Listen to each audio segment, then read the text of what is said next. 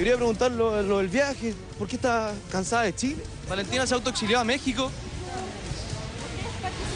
Katia, ¿qué te parece que Valentina se haya ido al país? Hermética y en completo silencio, Valentina Roth dejó nuestro país para viajar al extranjero, sin darnos ni siquiera luces del motivo de su partida. Pero a pocos días de dejar Chile, hoy le contamos sobre los días de Valentina Roth en tierras mexicanas.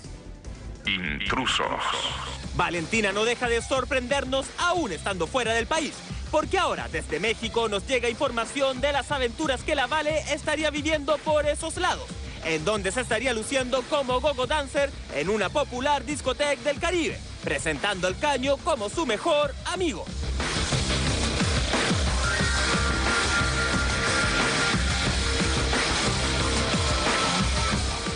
Tanto sería el entusiasmo que Valentina le estaría poniendo al baile que incluso en las mismas fotografías y producto de su pasión por la danza sobrepasa cualquier límite, dejando entrever un poco más de lo permitido.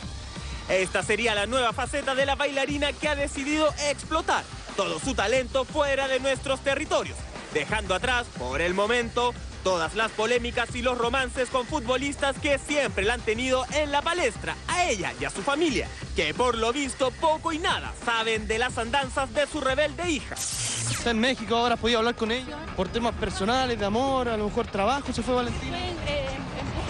Oye, se pasaron. Se diría que la familia está como un poco molesta por el viaje. No, nada, yo no. Yo la verdad que no. Lo que pasa es que eh, se supone que ella se fue a México a buscar nuevo horizonte y queríamos preguntar la, la postura de ustedes porque decían que estaban como molestos con este viaje. La verdad que no tengo idea.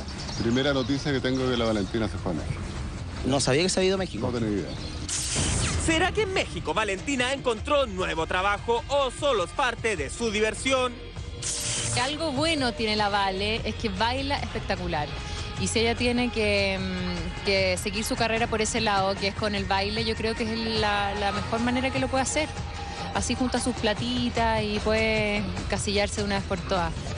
No, linda. Valentina yo la conocí súper chévere, una buena persona y tiene un talento increíble que es bailar y, y así baile lo que tú me dijiste que no sé qué cosa significa ese baile. dancer, Eso. bailarina electrónica, arriba los cu- Buenísimo, qué lindo, qué chévere. Así se va a mantener siempre regia y nada, eso a lo mejor igual. Por lo visto, Valentina estaría disfrutando su estadía en México, llevando una vida de deportista, entrenando en la playa y haciendo lo que más le gusta y lo que mejor sabe hacer, bailar. Es de esperar que este sea un nuevo comienzo para la elástica bailarina y que su tranquilidad no se vea empañada por ningún tipo de conflicto que pueda opacar los buenos momentos que estaría viviendo alejada de nuestra farándula.